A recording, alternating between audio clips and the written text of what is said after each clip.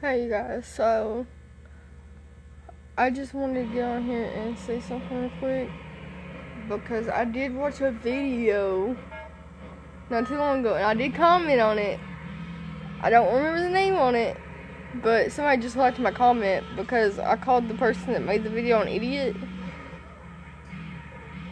Well, I didn't really call him an idiot. I just kind of educated them a little bit because they were given false information and I told them that they were wrong that the only thing that could be a service animal was a miniature horse or a dog.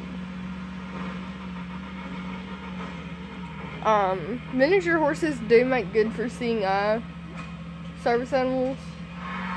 Um, there was a girl I can't remember if I seen it on YouTube or what but she's in another country. Anyways and she um, had see an eye horse, and she um was able to take this miniature horse wherever she needed to go,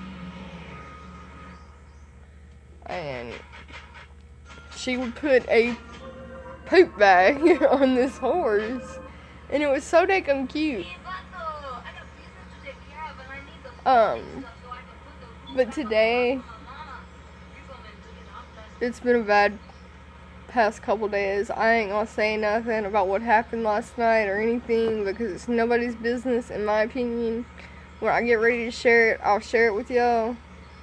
But as of right now, I'm not ready to share it with y'all. Uh, but I'm gonna go out and ride wheelers today, hopefully, and go swimming and have some fun.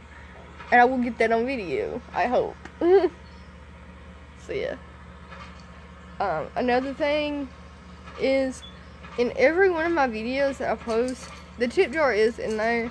I want to move it up to the top so that y'all can see it better.